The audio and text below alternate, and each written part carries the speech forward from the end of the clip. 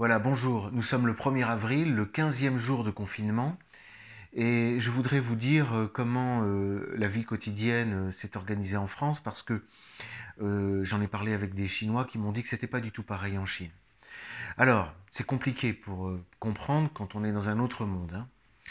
En France, l'administration repose sur l'idée que le citoyen va désobéir il va essayer de tricher. Il y a déjà, on ne lui fait pas confiance. J'ai une amie qui a écrit un livre sur cette mentalité pour expliquer les choses. On n'a pas confiance.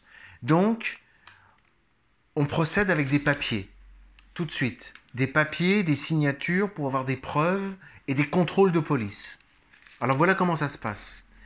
Dès que je sors de chez moi, par exemple, vous voyez, pour faire, pour faire des courses, pour acheter à manger, je dois remplir une attestation de déplacement. Tout le monde, tous les Français doivent faire ça, hein, tous ceux qui veulent sortir de chez eux. Je mets mon nom, mon prénom, ma date de naissance, etc., mon adresse, je coche la raison pour laquelle je sors. Il n'y a que un nombre limité de raisons. Hein. Je mets l'heure et je signe. Et quand je suis dehors, si un policier me contrôle, je dois lui montrer mon papier. Vous voyez, ça c'est tous les papiers que j'ai remplis depuis le début du confinement. Je ne suis pas beaucoup sorti quand même. Hein. Et alors, quand il y a un contrôle, alors moi ça c'est ce qui fait le plus peur en fait, les, ce sont les contrôles. Parce que vous êtes contrôlé par des policiers qui n'ont pas de masque. Et surtout au début, ils n'avaient même pas le droit d'avoir des masques. Bon, de toute façon, ils n'en avaient pas, donc ils ne pouvaient pas en mettre. Le problème, c'est que le policier, il est en contact avec plein de gens. Donc, il est certainement contaminé. Et quand il vient vous parler, il vous parle sous le nez et, il postillonne. Enfin, vous avez compris. Le meilleur moyen de tomber malade, c'est donc de sortir et d'être contrôlé par la police. Voilà. je précise que si le policier estime que vous, avez, euh, que vous êtes resté trop longtemps dehors, si vous n'avez pas votre attestation, ou si, ou si vous l'avez mal rempli, il y a une amende qui est de 135 euros, qui peut être si vous recommencez de 200 euros. Et ce qui ça peut s'aggraver, si vous allez devant le tribunal, vous pouvez risquer 6 mois de prison et 3750 euros d'amende. Voilà, 6 mois d'emprisonnement. Voilà. Voilà dans quelle ambiance se déroule en France le confinement. C'est important, hein c'est parce que c'est pas du tout dans l'enthousiasme. Hein.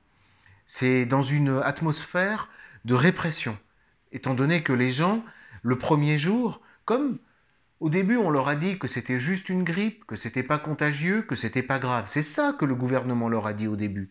Donc le premier jour où on leur a dit n'allez pas travailler, restez chez vous, les gens, il faisait beau, les gens sont sortis, faisaient du vélo, ils marchaient, euh, ils allaient boire un verre, euh, bon, voilà. Donc le gouvernement a décidé de durcir les mesures. Donc, mais c'est pour vous donner, et alors, je, je donnerai peut-être des exemples.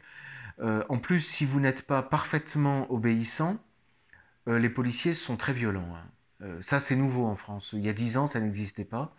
Mais depuis quelques mois, quelques, mois, les policiers ont l'habitude d'être très violents avec les gens. Hein. Bon, voilà la, vie, la vie quotidienne en, France. Toujours la paperasse.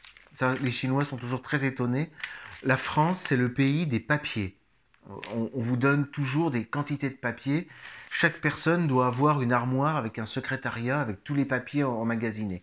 Les Chinois, quand ils viennent d'arriver, ils reçoivent des papiers de l'EDF, ils reçoivent des papiers de, de, toutes les administrations et ils regardent et ils jettent. Grave erreur, grave erreur. Un Français a une vraie bibliothèque avec euh, le gaz, l'électricité, le téléphone, le loyer, l'état civil, etc. Voilà, voilà la, le, blocage, quoi, le blocage bureaucratique en France. Voilà. Merci, à plus tard.